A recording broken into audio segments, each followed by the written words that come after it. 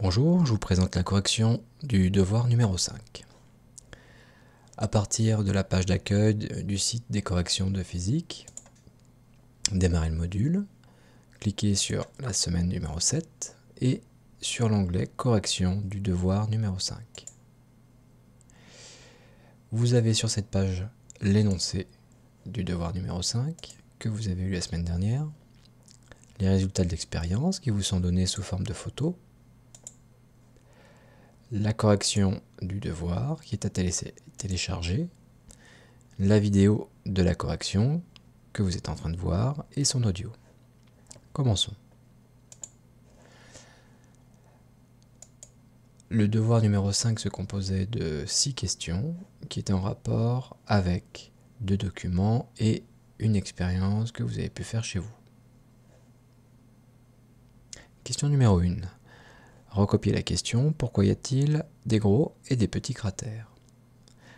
La réponse était une sorte d'hypothèse. Donc, je vous conseille de commencer la réponse par je pense que la taille des cratères peut dépendre de plusieurs facteurs. Donc voici quelques idées auxquelles on pouvait penser. La vitesse à laquelle s'écrase le météorite sur la surface. Donc ça c'est en rapport avec l'énergie de mouvement qu'a un objet, qu'on avait vu dans le devoir numéro 4 il y a deux semaines. La taille du cratère peut dépendre bah, de la taille du météorite, c'est-à-dire de l'astéroïde qui s'écrase, la masse du météorite, plus ou moins lourd, sa forme, ou aussi, pourquoi pas, de quoi est fait la surface de la planète ou du satellite. Ensuite, il suffisait de regarder une vidéo la chaîne d'une bille dans de la semoule pour obtenir les résultats qui nous intéressent par la suite. Il y avait donc 5 lâchers. Le premier lâcher c'était de 60 cm.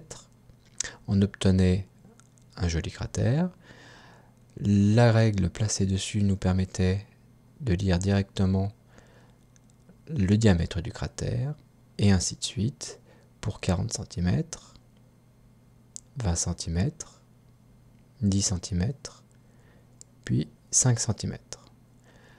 La vidéo, se finissait par des formations de cratères au ralenti, juste pour voir ce qui se passait.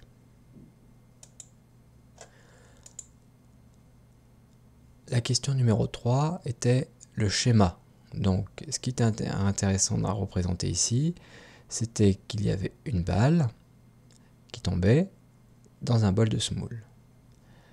La hauteur du lâcher était le paramètre qui variait.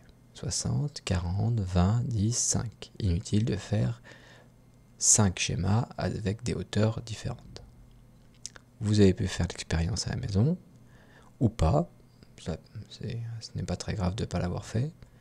La question 5 euh, vous demandait de recopier un tableau dont la première ligne correspondait à la hauteur du lâcher, la seconde ligne correspondait au diamètre du cratère. Avec la règle positionnée sur le cratère, on pouvait obtenir ces résultats-là. Peu précis car la vidéo ne nous permettait pas d'obtenir de meilleurs résultats que ça. La dernière question, Comment évolue le cratère lorsque l'objet tombe de plus haut L'objet tombe le plus haut à 60 cm de hauteur. On avait donc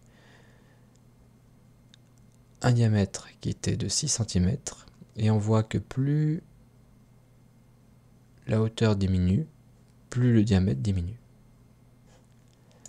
Donc, comment évolue le cratère lorsque l'objet tombe de plus en plus haut? Lorsque l'objet tombe de plus en plus haut, le cratère est de plus en plus grand. Donc plus la bille tombe de haut, plus le cratère créé est large. Voilà pour la correction du devoir numéro 5.